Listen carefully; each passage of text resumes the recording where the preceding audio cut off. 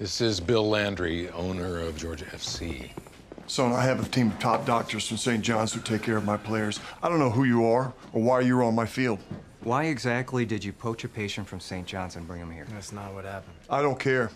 I want Dax transferred to St. John's immediately. Well, that would be a bad idea.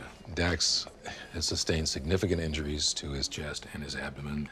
I trust that when he stabilizes, he'll make that transfer happen as soon as possible. You have my word. And I apologize for the inconvenience. I, I hope. Mr. Landry? I heard what you did for Dax. I owe you a debt of thanks. Oh, glad I could help. I also heard that Dax brought you in because our team doctor didn't address his concerns. That's unacceptable. My players are like family to me, and this has shown me that my family needs a doctor. I'd like the doctor to be you. Is, is this a real offer? It is. I don't think I'll have a problem getting a position at St. John's. So, Dr. Hawkins, what do you say? Was there anything valuable in the car? About $300 worth of makeup, so this thief could look like anyone right now. Makeup. Sure. Uh, we're going to the Comic Con in Bakersfield. They have a big costume contest. It's cooler than it sounds. I don't know. Sounds pretty cool. I think I have all I need here. You guys need me to call someone? I'm guessing your mom's. Thanks, but we've got it covered. Okay, I just talked to my mom. Look at old Gus. Guy. Good grief. We sure thought the world of ourselves back then, didn't we? So what's on your mind?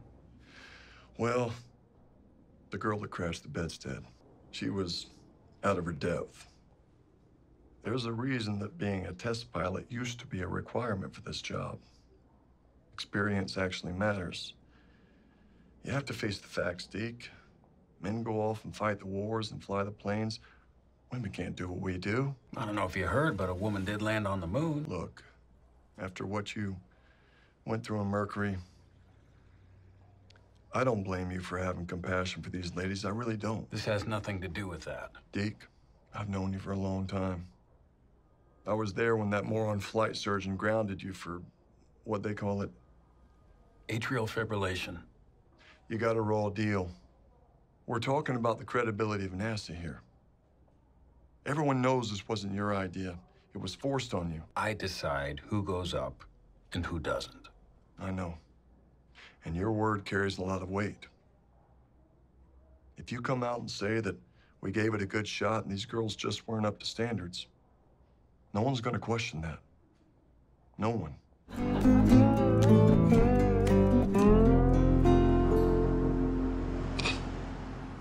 Man, that was some impressive police work back there. The way you apprehended that perp, you could have gotten real ugly.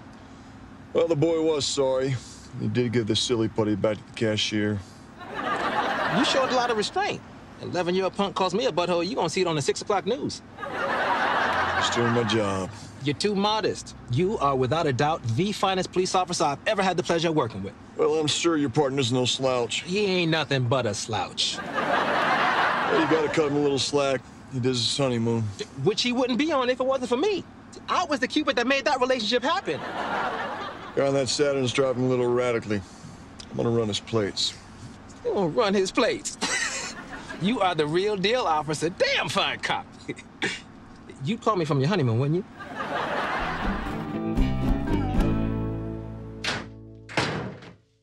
You sure you don't want to grab a beer and hang out a little bit?